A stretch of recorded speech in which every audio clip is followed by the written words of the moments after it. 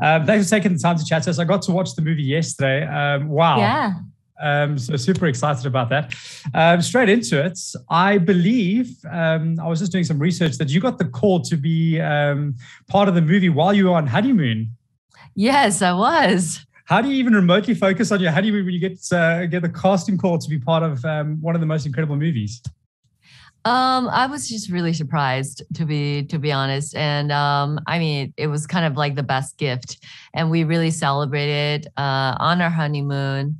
Um, and it was just me and my husband, and he's always been a huge support in my life and career. So it was really good to share that moment with him. Oh, that's super special. And um, look, I must say, you, you, your your uh, your role that you played was absolutely incredible. I uh, I want to ask you. I think after watching the movie, the actual heroes are the ladies in the movie. Um, I don't know if you would agree, but if you have to think about all the roles that all the ladies played, they were actually you know instrumental in how the movie played out. Do you agree?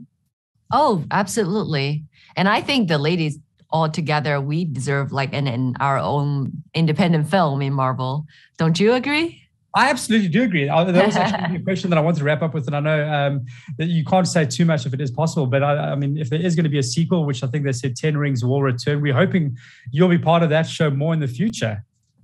I was just talking to the producer last night about it at yeah. dinner.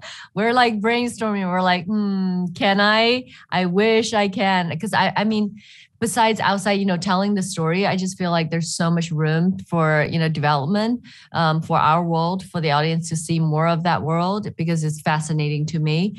And at the same time selfishly i just really love the cast. We became really close friends and almost like a family. So i would just hate to think this is the last time we'll we'll be working together. So i'm sure we'll see each other again well, I certainly hope so as well. I certainly hope we can see more of your character and, and the the Ta Lo world. Uh, maybe mm-hmm. that's a completely separate movie. I think that would be quite special to see as well. Um, one more question. I just want to see, you know, like how, did, as an actor, I always find this fascinating. How as an actor do you get into that role of being a mother? Do you relate that now? Because I know you've recently had a baby girl, which is incredible. Yeah. Congratulations. do you relate? You. The, are you able to relate those two together um, while you're shooting somehow?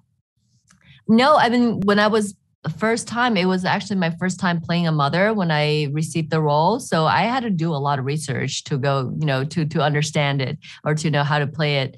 But uh, you know shortly after i got pregnant and i became a mother myself now i'm like oh you know that's that's how it feels. I was you know acting i was faking it but it also which is part of my job. But now i really have a lot more feelings about motherhood. I'm still learning you know every day she's growing and changing. So yeah, I think next time I play a mother, I think I can do a little bit better.